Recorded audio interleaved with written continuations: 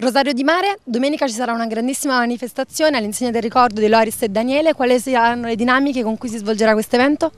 Allora, domenica ci sarà una grande giornata, partiamo dalle 5 con le finali Under 12, alle 18 la finale Under 16 e poi ci sarà la festa con premiazioni di tutte le squadre uh, dei tre tornei, delle tre categorie, uh, con musica, eventi musicali, eventi culturali e mostra fotografica. Un movimento quindi culturale con tante iniziative volte al sociale, secondo te quale sarà la ripercussione per Pozzuoli?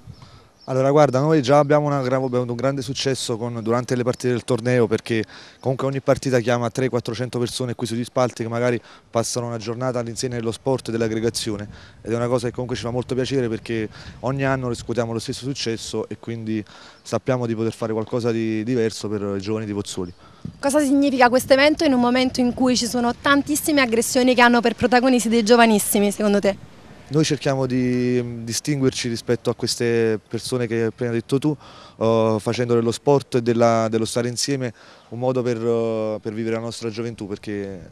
questo è il modo di viverla e di richiamare l'attenzione attraverso anche uh, lo sport dei bambini, perché noi facciamo anche il torneo per i più piccoli, che sono la cosa più importante, perché è loro che devono capire il valore dello sport e dell'amicizia.